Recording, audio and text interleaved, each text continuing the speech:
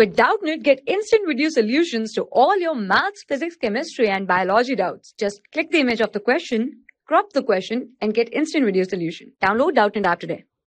Hello student, now here in this question we have to convert this decimal actually recurring decimal into vulgar fraction.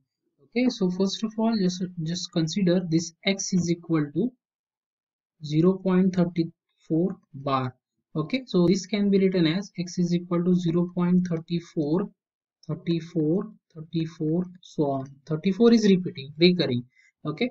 Now if two digits are recurring we multiply recurring we multiply by 100 okay? Multiply by 100 on both side what i get? So this is 100x this is equal to 100 into 0 0.3434 3 4 so on.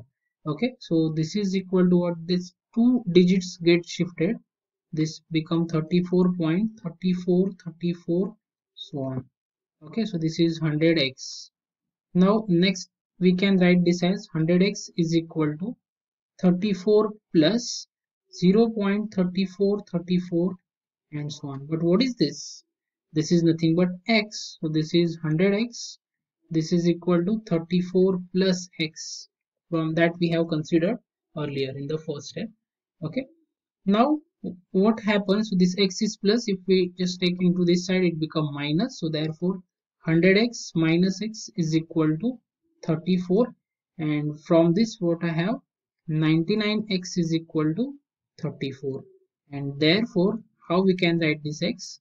x is equal to 34 divided by 99 okay and therefore 0 0.34 bar can be written as 34 by 99 so hope you have got this thank you For class 6 to 12, IIT JEE and NEET level. Trusted by more than 5 crore students. Download Doubtnut app today.